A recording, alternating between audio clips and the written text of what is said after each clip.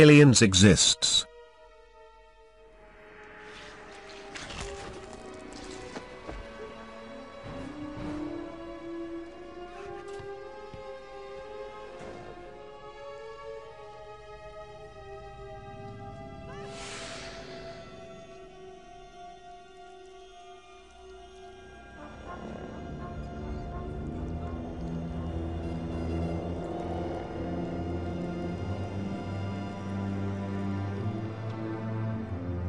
The black dragons of the sea.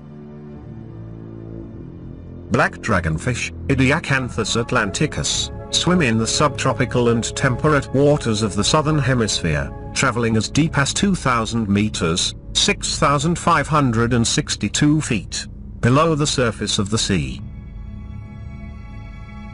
The unusual species are sexually dimorphic, meaning the males and females look remarkably different from each other. The females have barbels on their chin, fang-like teeth and can grow up to 40 centimeters in length. Males, on the other hand, have no chin barbels, lack teeth and are just 5 centimeters long. They also lack a functional gut, which means they never eat, and only live long enough to mate. Researchers believe that gender difference is an evolutionary method to reduce competition for resources while still retaining the ability to mix their genes through sexual reproduction. As with many deep-sea creatures, these bioluminescent fish are photophores that can produce light. Researchers believe the luminous tip on the barbel acts like a fishing lure, wagging languidly through the water while flickering on and off to attract the attention of their prey. The larvae of the black dragonfish also have their own set of unusual traits. The larvae are transparent with eyes at the tip of long stalks that are half their body in length.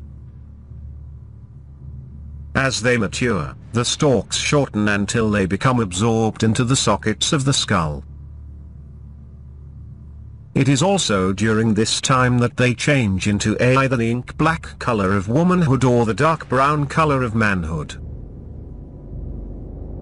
Pacific black dragon, Idiacanthus antrostomus.